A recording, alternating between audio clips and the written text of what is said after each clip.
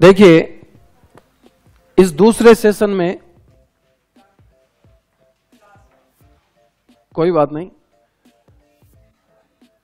इस दूसरे सेशन में अपन राजस्थान से शुरू करेंगे और agriculture industry dairy development livestock बजटीय प्रवृत्तियाँ इस प्रकार से पाँच सात टॉपिक हैं।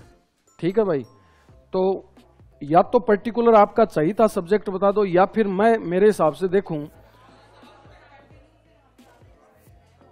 कोई बात नहीं तो देखो एग्रीकल्चर से जुड़ा हुआ है पशुधन पशुधन से जुड़ा हुआ है डेयरी विकास तो ये तो लंबा चलेगा। यानी ये तीन चार टॉपिक आपस में लिंक रखते हैं। एक टॉपिक सेपरेट है इंडस्ट्री एक टॉपिक क्या है? सेपरेट और इंडस्ट्री पहले क्यों पढ़ाना चाहिए, उसका भी रीजन बता देता हूँ। जैसे मान लीजिए उद्योगों के प्रकार में एक प्रकार है कृषि आधारित उद्योग। तो कृषि आधारित उद्योग तो है ही। तो उद्योग की फीचर्स तो यहीं पढ़ लेंगे। और कृषि आधारित उद्योग जो भी है, कपड़ा उद्योग, सूती वस्त्र उद्योग, कागज़ उद्योग, ये उद्योग तो उसको अपन कृषि के साथ पढ़ लेंगे। तो ये आपस में जुड़ी हुई हरकतें होती हैं, जुड़े हुए टॉपिक हैं। तो जो आपका सिलेबस है, उसके हिसाब से मैं स्टेप वाइज चलूँ तो राजस्थान के उद्योग से शुरू करना चाहिए। समझ में आ गई? सबसे पहले तो आप एक, आप हेडिंग तो लगा लो राजस्थान के उद्योग। राजस्थान के उद्योग। और उसमें सबसे पहले लिखिए फर्म। सबसे पहले लिखिए फर्म। फर्म।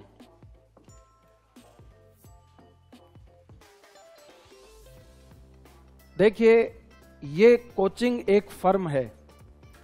चाय की थड़ी वाला एक फर्म है। गारमेंट्स वाला एक फर्म है। इंडिविजुअल कोई भी काम करने वाला फर्म होता है और एक टर्म और समझाता हूँ आपको, रीट में क्वेश्चन हमेशा ही आता है। एक शब्द तो होता है व्यापारी और एक शब्द होता है व्यवसायी। इन दोनों में क्या अंतर है? तीन क्षेत्र हैं, कृषि, उद्योग और सेवा। व्यापार निम्न में से किसका भाग है और व्यवसाय निम्न में से किसका भाग है?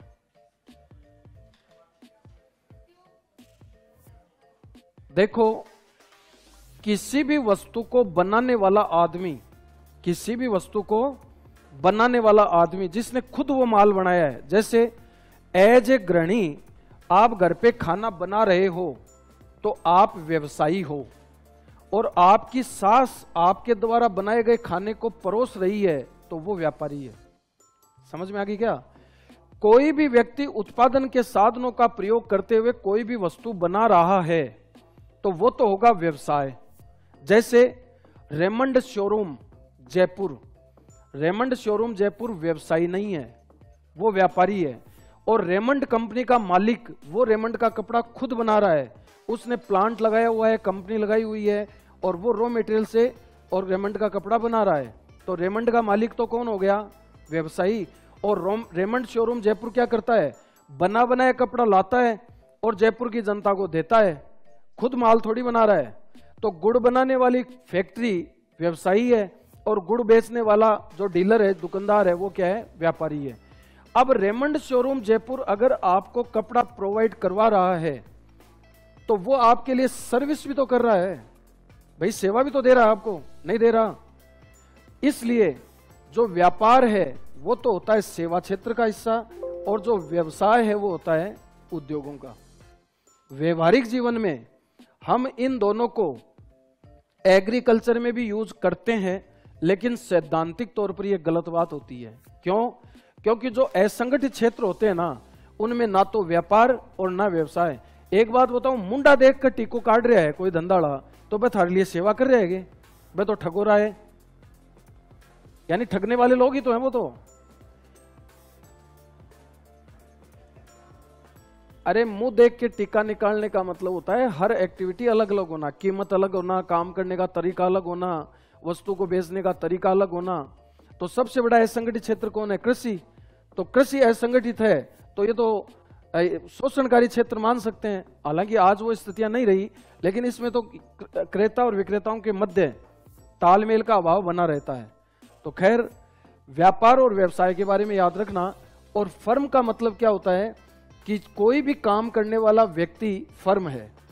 ठीक है, एक लाइन में लिखिए इसका मीनिंग।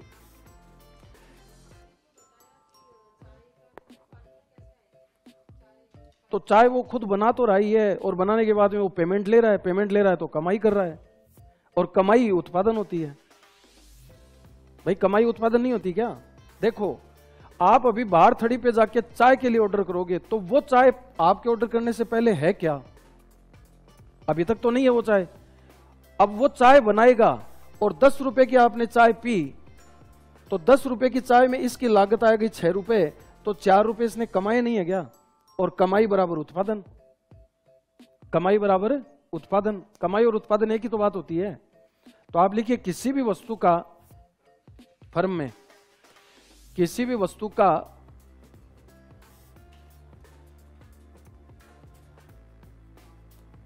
देखो, आपका रजिस्टर देखकर मुझे एक क्वेश्चन याद आ रहा है।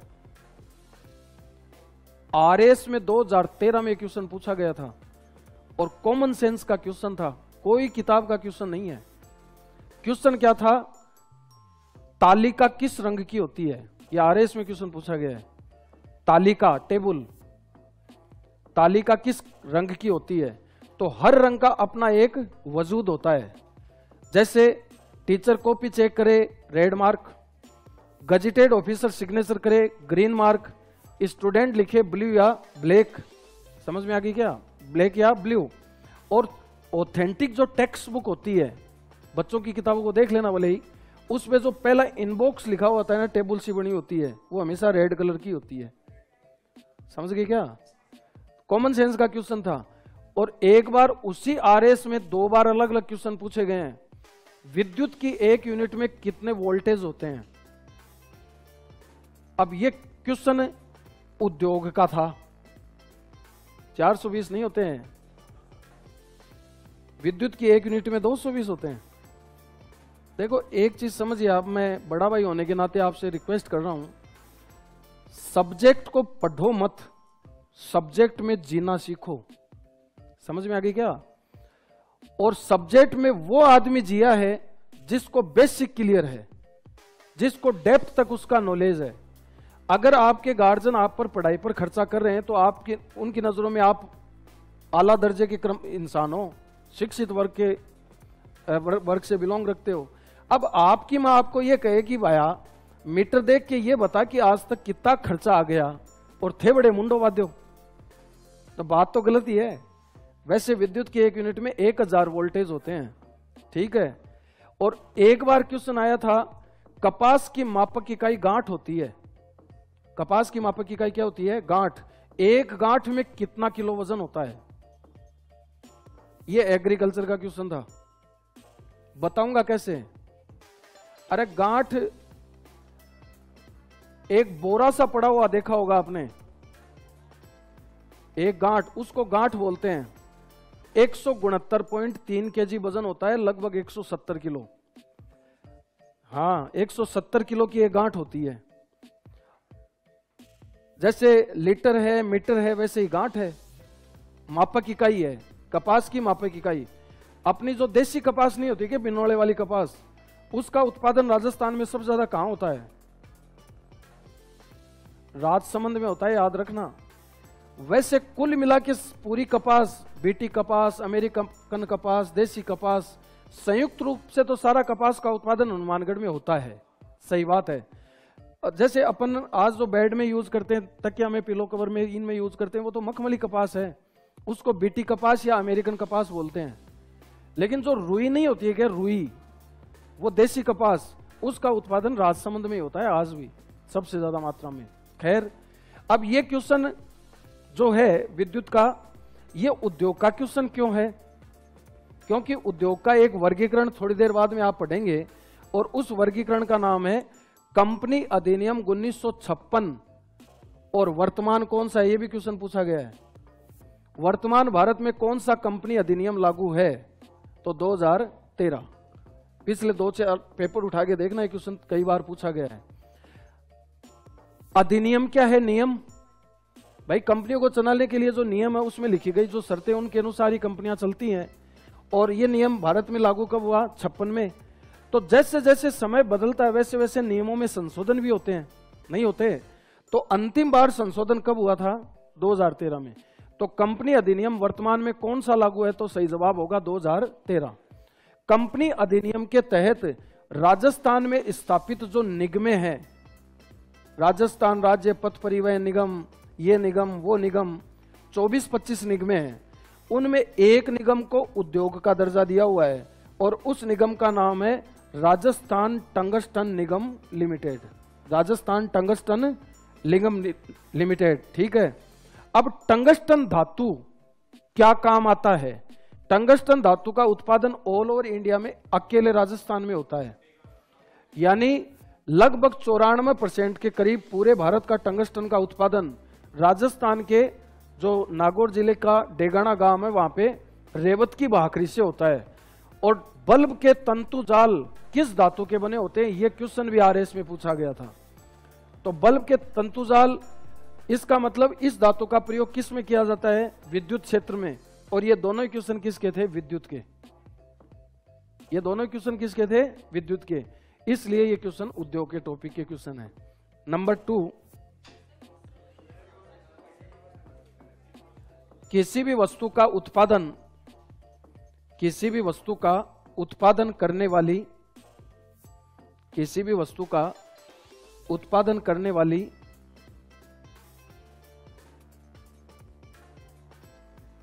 एक इकाई को, एक इकाई को किसी भी वस्तु का उत्पादन करने वाली एक इकाई को, यानी पर्टिकुलर एक यूनिट फर्म कहते हैं। किसी भी वस्तु का उत्पादन करने वाली एक इकाई को फर्म कहते हैं। और अब आप लिखिए उद्योग। उद्योग। समरूपी उद्योग का मीनिंग लिखवा रहा हूँ, समरूपी वस्तुओं का, समरूपी वस्तुओं का उत्पादन करने वाली, समरूपी वस्तुओं का उत्पादन करने वाली फर्मों के समूह को, फर्मों के समूह को उद्योग कहते हैं। समरूपी वस्तुओं का उत्पादन करने वाली फर्मों के समूह को उद्योग कहते हैं। बोलो, क्लियर है क्या? यानी एक उद्योग में एक जैसा माल बनाने वाली कई फर्में होती हैं। जैसे कपड़ा इकाई जयपुर, कपड़ा बनाने वाली इकाई देहरादून, कलकत्ता, नोएडा, गुड़गांव, दिल्ली, आदि आदि। तो इंडिविजुअल तो ये क्या कहलाएगी? कपड़ा फर्में। और इनको कंबाइंड कर दिया जाए तो ये क्या हो जाएगा? कपड़ा उद्योग। समझ में आ गई क्या? सामान्य बात है। और अब अगर मेरा अनुसरण करना चाहते हो लिखने में, तब तो रजिस्टर का पढ़ना कर लेना, आड़ा या एक्रोस अदरवाइज़ आप अपने हिसाब से भी लिख सकते हो। हाँ पूरा साप्ताह।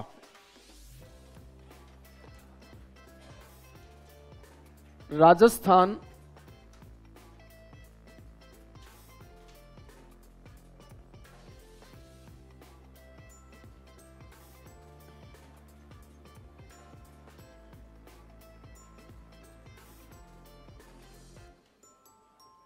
देखिए इसके तीन वर्गीकरण होंगे।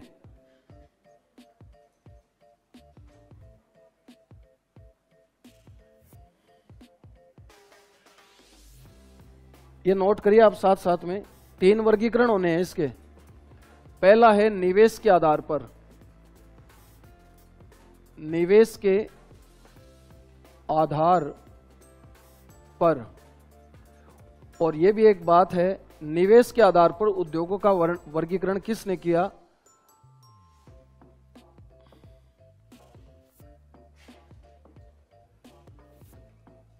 S P Gupta. S P Gupta समिति। और निवेश के आधार पर उद्योग, पहला सूक्ष्म उद्योग।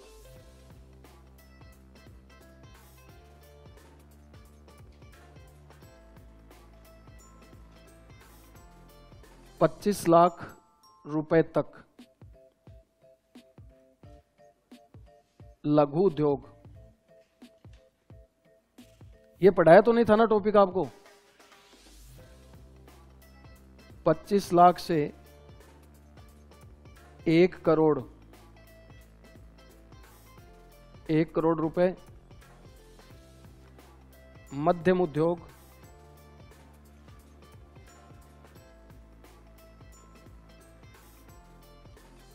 एक से पाँच करोड़। और एक होता है वृहद उद्योग।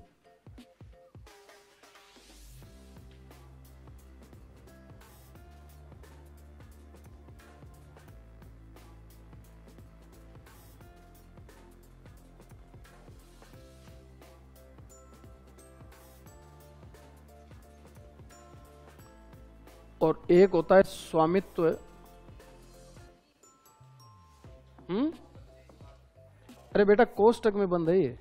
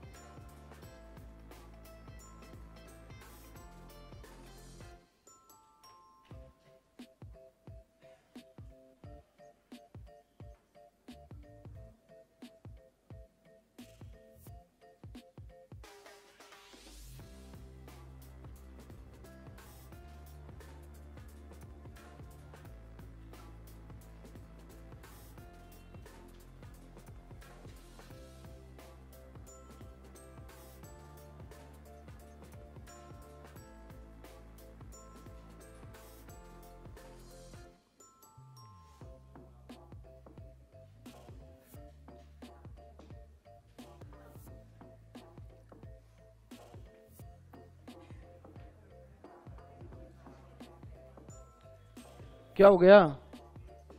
है? अरे तो आप एक पे ये बना लो, एक पे ये बना लो, एक पे ये बना लो यार। ये तो कॉमन सेंस की बात है।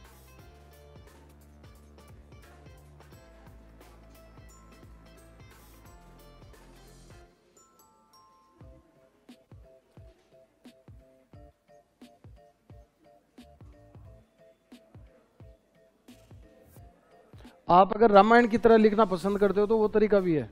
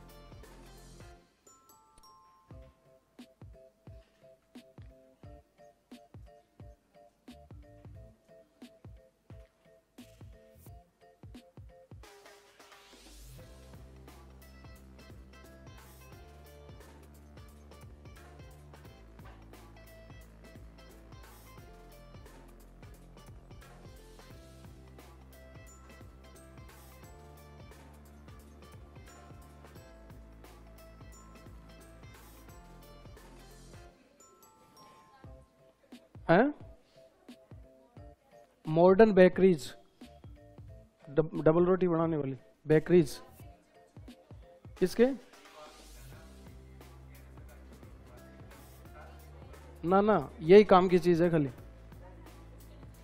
हाँ ये, अरे एरो का निशान का मतलब क्या है? इसकी बात है यार. ये तो कॉमन सेंस की बात है.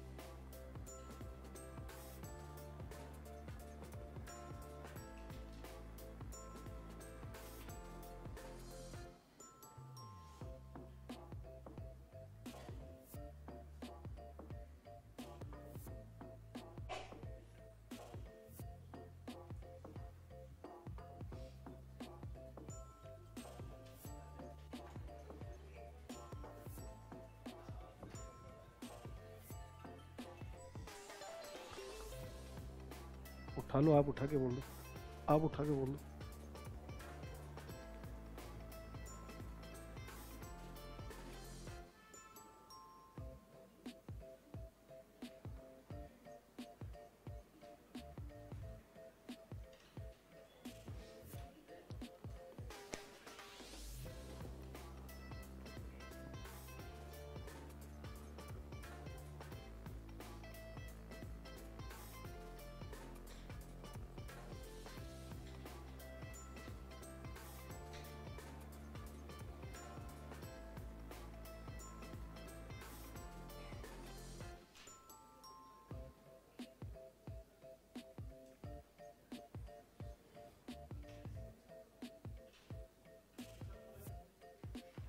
वर्गीकरण हुआ है खाली। ये तो एक स्ट्रक्चर पता चला है कि उद्योग का क्या। है? ना ना। विभाग देखो उन्नीस और पैंसठ में डेडवाना में खोले गए थे। दोनों को ही बंद कर दिया। बताऊँगा विभागीय उपक्रम के बारे में। आ, अलका यादव कविता और पूजा। बेटा आपको अगर कोई समझने समझाने में दिक्कत हो कोई बात पूछ करनी हो कमेंट्स बॉक्स में आप डाल सकते हैं सॉल्यूशन हो जाएगा। हमारी टेक्नीशियल जो टीम है, वो स्क्रीन शॉट करके इसको अच्छे से आपके साथ में प्रोवाइड कराएगी।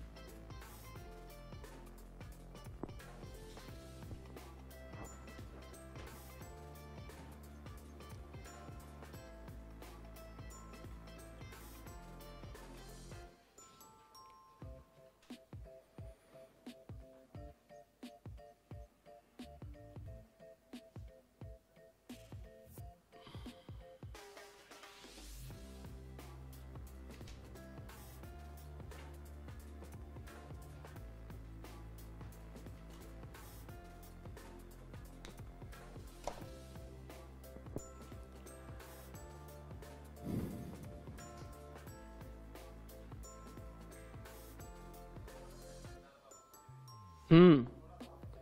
कृषि आधारित।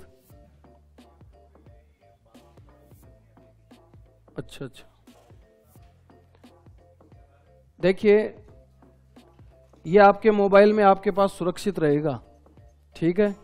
इसलिए समय और धन का अपव्यय किए बिना आप इसको समझिए और इसकी जो खास बातें एक पन्ना, दो पन्ना, जितने भी आप लिखना चाहो, उतना स्पेस छोड़ दीजिएगा। और घर पे जब होमवर्क करोगे, एक बार कमेंट्स डालना कमेंट्स बॉक्स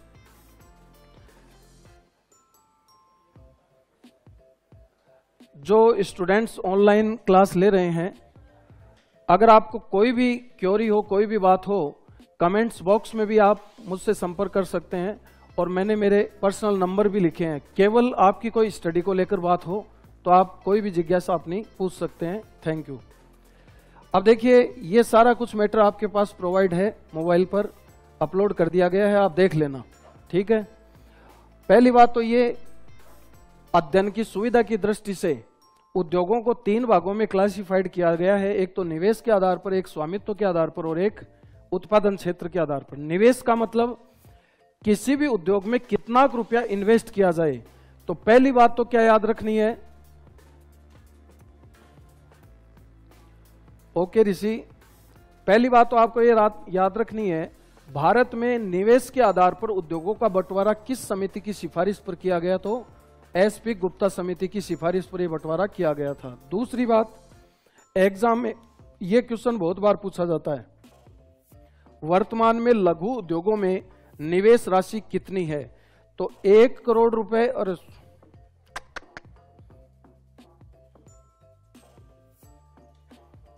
इसको थोड़ा सुधारिए यार।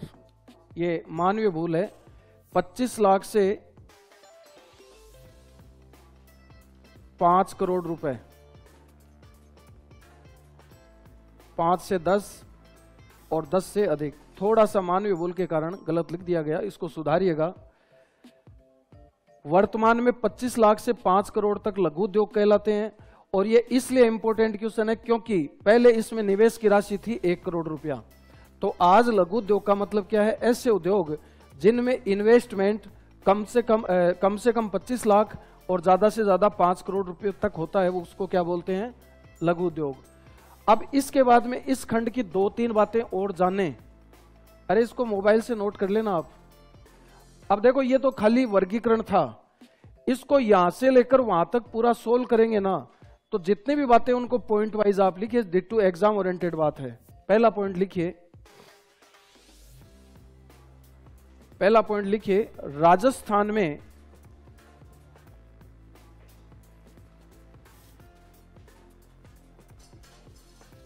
राजस्थान में राजस्थान में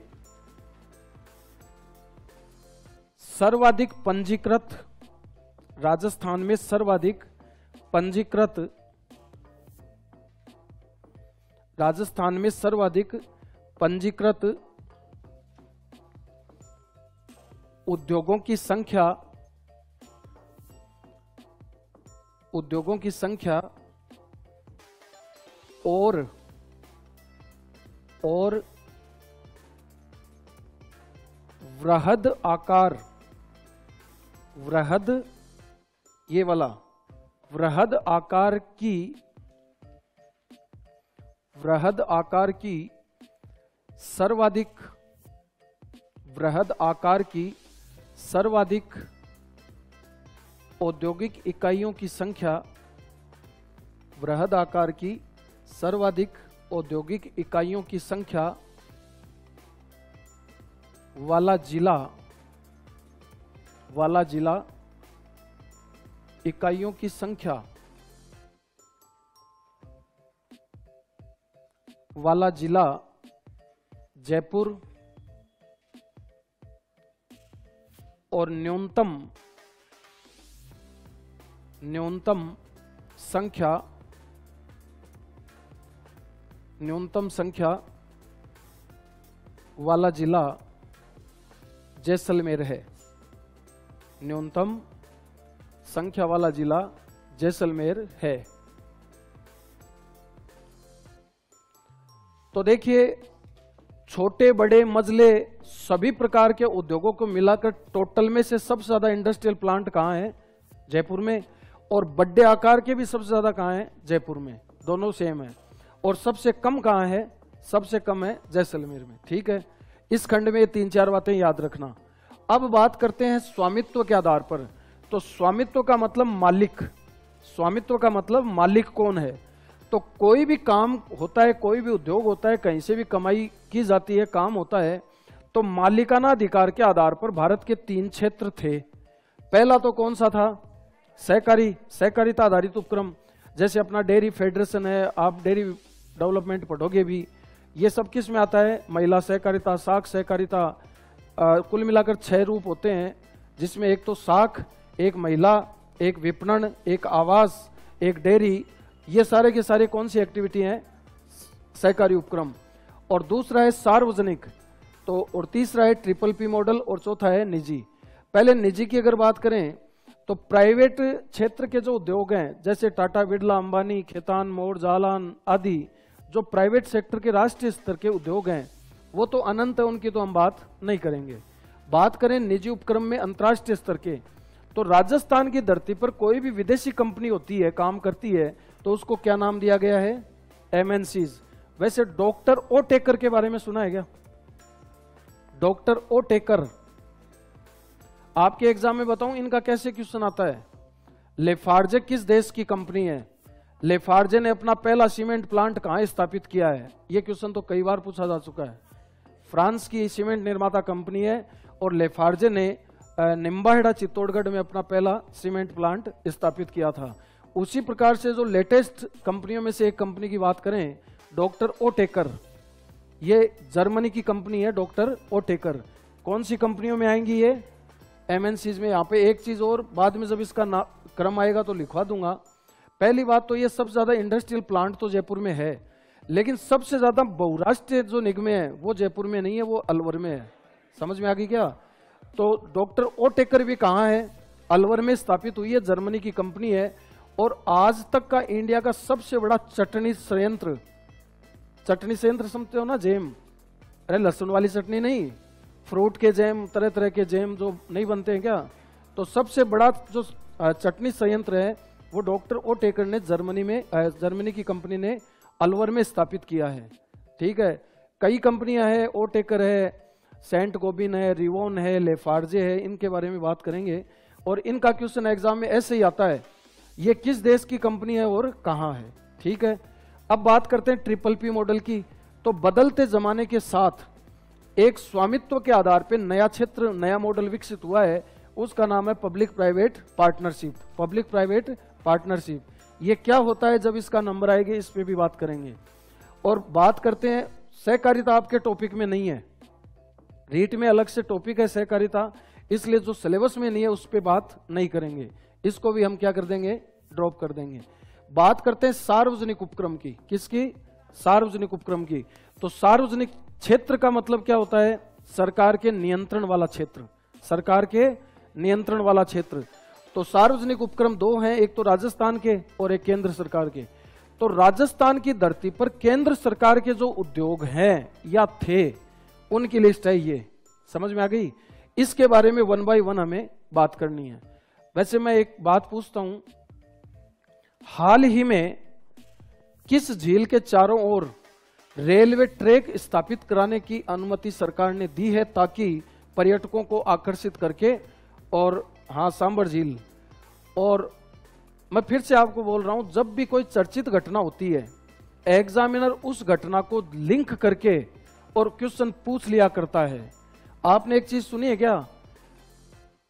कई हज़ारों, दस हज़ार से भी ज़्यादा साइबेरियन पक्षियों की मृत्यु हुई थी। इस झील के किनारे ही तो हुई थी। तो जब ये साइबेरियन पक्षियों की मृत्यु हुई, तब इस झील के बारे में पूछा गया है। समझ में आ गई क्या?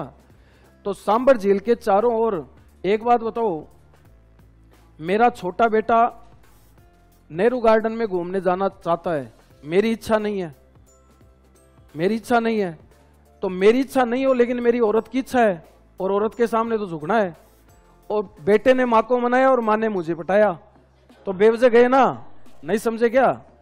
इसका मतलब बच्चा क्या देखकर अट्रैक्ट होगा? मोनोरेल, छोटी रेल तो पर्यटकों को आकर्षित करने के लिए इस झील के चारों ओर एक छोटी रेलवे लाइन स्थापित करने की सरकार ने अनुमति दे दी थी। वसुंधरा के जमाने की बात है ये। वसुंधरा राजे जी जब अपनी सीएम थी, उनके कार्यकाल की बात है। तो आप कैसे लिखोगे वो तो आप जानो आपका काम। लेकिन मैं वन बाय वन इनके बारे में कल से बताना शुरू करूँगा। आज इतना ही।